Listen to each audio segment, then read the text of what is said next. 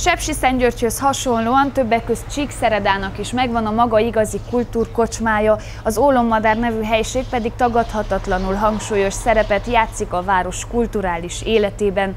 Itt rendszeresen szerveznek különböző koncerteket, közönségtalálkozókat, borkóstolókat, sőt néha még fesztiválokat is.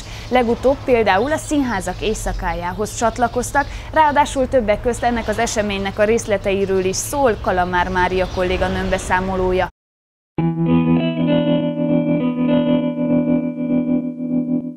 Csíkszeredában az ólommadár egy különlegesség a kocsmák világában, akár romkocsmának, kultúrkocsmának is mondható. Attól másabb elsősorban, hogy rengeteg olyan történetet, kulturális eseményeket, rendezvényeket próbálunk belopni a kocsma életében, amik máshol nem igazán kaptak teret, helyet és talán azt mondhatnánk, hogy ezért is az olomadár. Most már merészkedek egy olyan kijelentéssel is, hogy Csíkszereda egyik meghatározó kocsmája.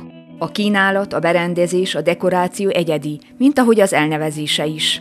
Volt egy olyan kedves hölgy, akinek a, a mozgása annyira kiegyensúlyozatlan, lassú, tempós volt. Hát a mi vidékünkön azt, mondtán, azt mondanánk rá, hogy ugye a Laci a nyakába ült, ott pedig inkább olommadárnak nevezzük, hát, hát innen az, hogy olommadár. Sok rendezvénynek ott helyet a kocsma, vendégeik, meghívottaik is nagy számba vannak. Györfi Zoltánnal beszélgetve sok mindent megtudtunk a kocsma mindennapjairól, nagy fellépésekről, sikerekről is beszámolt a társtulajdonos.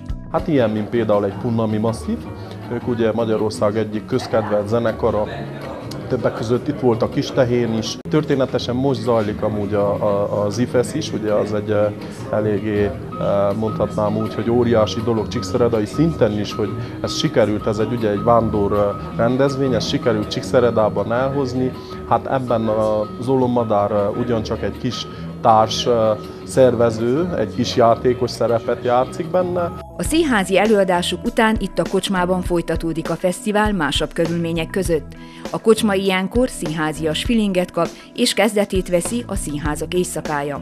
Ennek a színházi hétnek talán mondhatnám a Csíki uh, Színjátszó Társulatnak a segítségével sikerült egy picit mondhatnám színháziasá előadás képessé tenni a, a Zolom Madarat, a kocsmánkat. Tartottak itt már könyvbemutatót, ruhavásárt, kiállítást, borkóstolót, így sok vendég látogatja a kocsmát a kinézete és a, a zenei kínálata, és ugyanakkor úgymond az ital kínálata véget is eléggé széleskörű vendégsereget tudunk bemutatni, vagy felsorolni. Hát többek között elsősorban, akik úgymond az alap és a törzs vendégeink közé, ami mindenféleképpen azt merem mondani, hogy ez egy, egy óriási pozitívum úgy a helynek, meg a vendégeknek is. Főképp ugye a művész világból van az elsősoros vendégsereg, vannak a mindennapi vendégeink. Őket már inkább azt mondanám egy jó barátságos kiszolgálással fűszerezve, talán az lenne a, a csalétek, de ugyanakkor kompromisszumokkal is dolgozunk, ami azt jelenti, hogy valamilyen szintű marketing tevékenységekkel is becsaljuk a vendégeinket. Ilyen például a Szomjas Szerda. A rendezvények közül a legbüszkébbek az Olomfestre. Augusztus 29, illetve 30-án rendeztük meg. Van egy hátsó udvarunk, és itt rendeztük talán mondhatnám az első kocsma fesztiválunkat.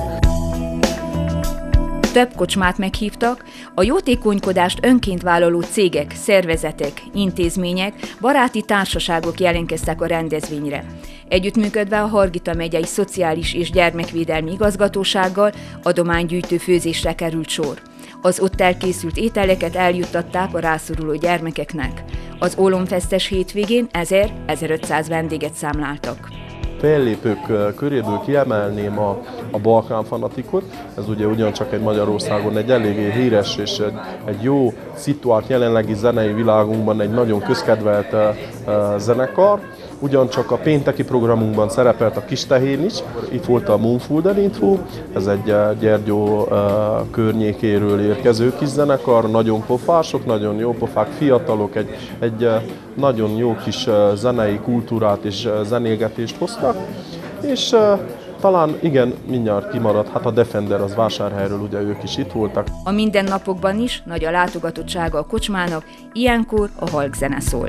Főképp a, a jazz és a, és a blues uh, világát képviseljük zeneileg, ez az, amit uh, mindenféleképpen a kocsmánk hangulatában zeneileg képviselnénk, de ugyanakkor egy, egy lájtos rockot, balladákot, rockballadákot előadó művészek is voltak. Mi már voltunk az ólommadárban, és a bárpultnál meg is beszéltük. Ólommadár, hát gyere be, a többit a, a pultnál elmeséljük.